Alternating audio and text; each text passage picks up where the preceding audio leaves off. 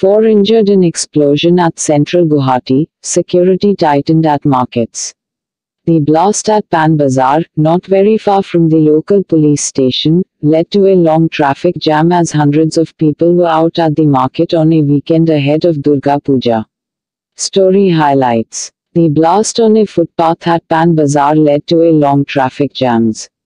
Security has been tightened at all markets ahead of Durga Puja.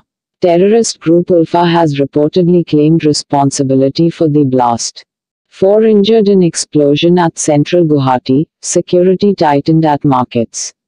The blast at Pan Bazaar, not very far from the local police station, led to a long traffic jam as hundreds of people were out at the market on a weekend ahead of Durga Puja. Story highlights The blast on a footpath at Pan Bazaar led to a long traffic jams. Security has been tightened at all markets ahead of Durga Puja. Terrorist group Ulfa has reportedly claimed responsibility for the blast.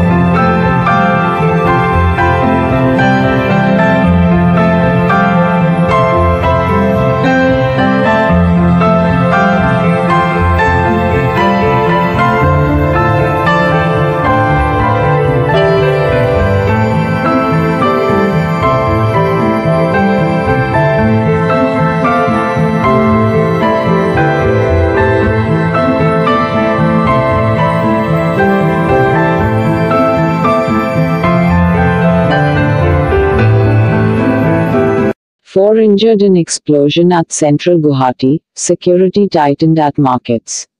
The blast at Pan Bazaar, not very far from the local police station, led to a long traffic jam as hundreds of people were out at the market on a weekend ahead of Durga Puja. Story highlights The blast on a footpath at Pan Bazaar led to a long traffic jams. Security has been tightened at all markets ahead of Durga Puja. Terrorist group Ulfa has reportedly claimed responsibility for the blast.